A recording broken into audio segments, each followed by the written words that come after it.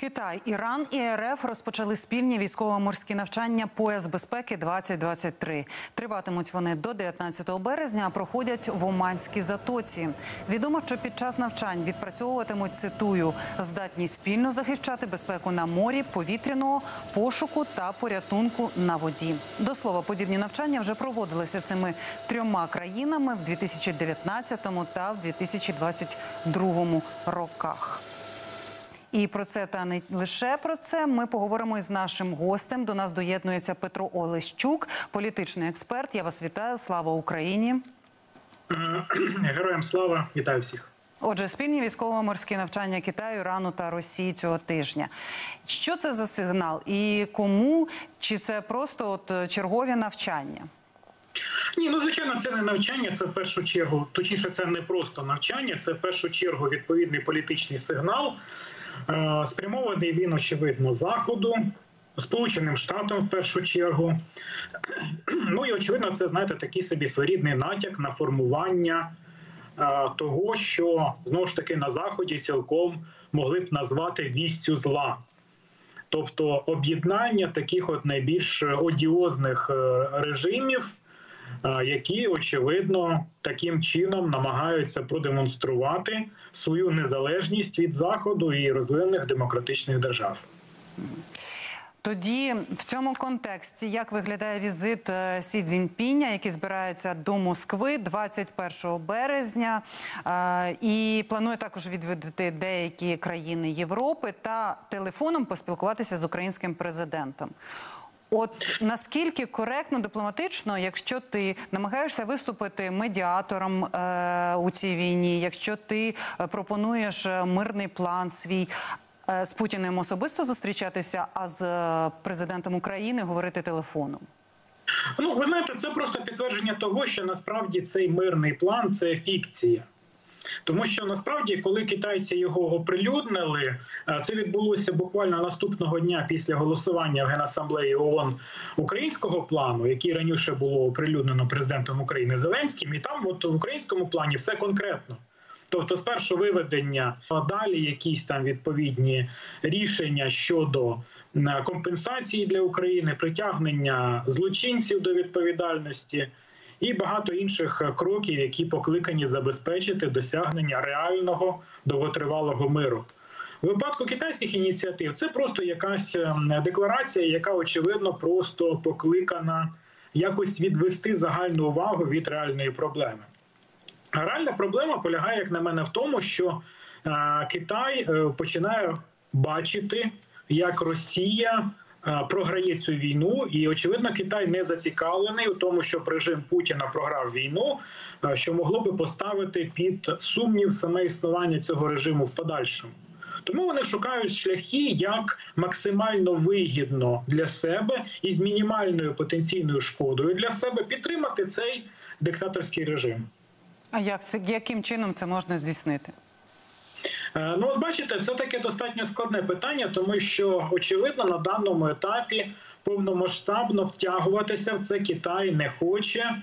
Е, а повномасштабно це очевидно шляхом масштабного постачання зброї для Росії, що очевидно вже остаточно продемонструвало е, ту сторону, яку Китай зайняв. Тому Китай займається такими достатньо цікавими дипломатичними маневрами, сенс яких, е, мабуть, полягає у тому, щоб довести всім, що мовляв, дивіться, от ми хочемо миру, але чомусь нас ніхто не хоче.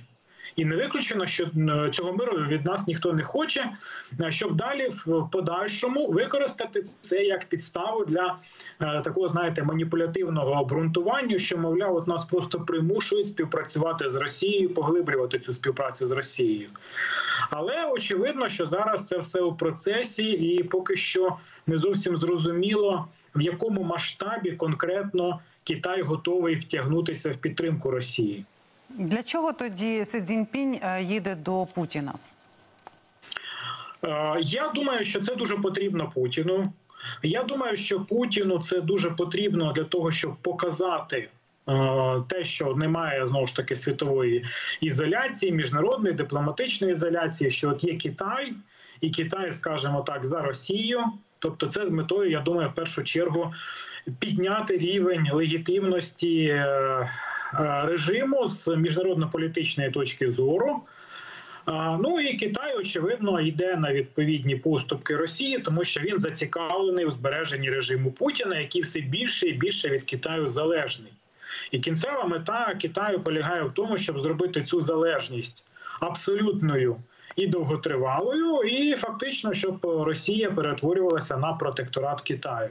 І заради реалізації такої мети, ну чому в принципі не приїхати і не продемонструвати у цю високу високий рівень е, дружби між Китаєм і Росією і між е, китайською владою та путінським режимом.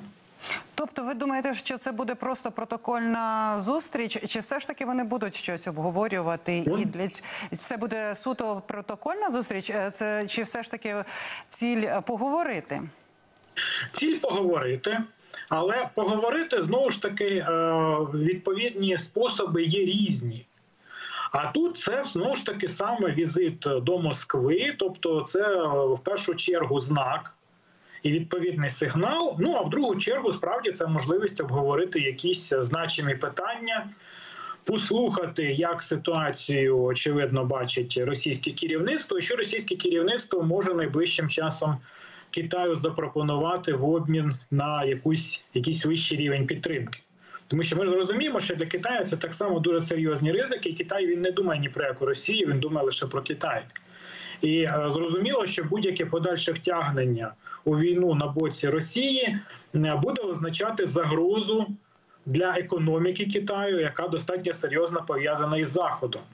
Тому Китай буде безперечно зважувати усі ризики, всі за і проти, як підтримати максимально лояльний до себе режим, але при цьому мінімізувати ризики для себе. От, власне кажучи, в цьому буде полягати задача Китаю, я думаю.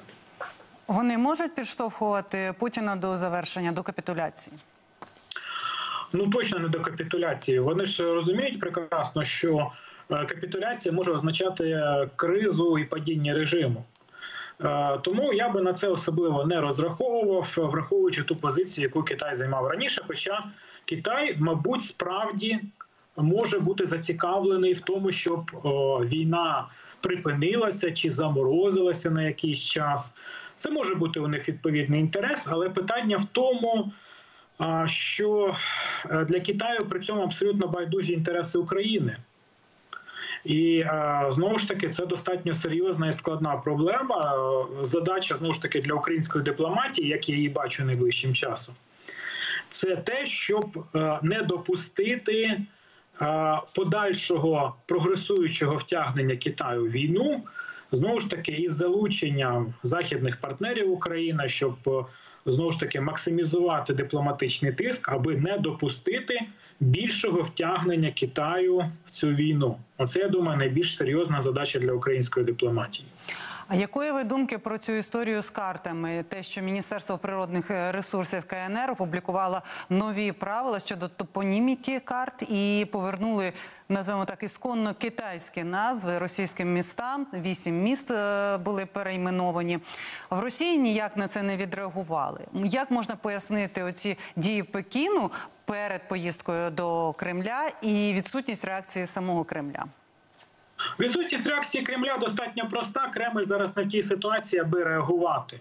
Тому е, єдине, що Кремль може робити, це висловлювати максимальну лояльність до Пекіна і все, тому що він повністю залежить від перспектив якоїсь підтримки з боку Китаю. І Китай це розуміє, і він таким чином це демонструє. Він демонструє, що він розглядає Росію як молодшого партнера, як протекторат, як сателіт. І мовчазна згода на це Росії показує, що в принципі, оскільки у Кремля особливих варіантів немає, то нинішній кремлівський режим він е, знову ж таки абсолютно на це погоджується. І це, до речі, великий привіт всім цим е, казкам, які е, тривалий час Путін розказував. Росіянам про те, що вони набувають якоїсь геополітичної геостратегічної суб'єктності. А реальності ця суб'єктність означає в кінцевому рахунку те, що вони перетворюються на протекторат Китаю. І поки путінський режим буде існувати, очевидно, що цей процес буде поглиблюватися і поглиблюватися і е, тривати і надалі. Я вам дякую за те, що доєдналися до нашого ефіру, за ваші відповіді. Це був Петро Олещук, політичний експерт.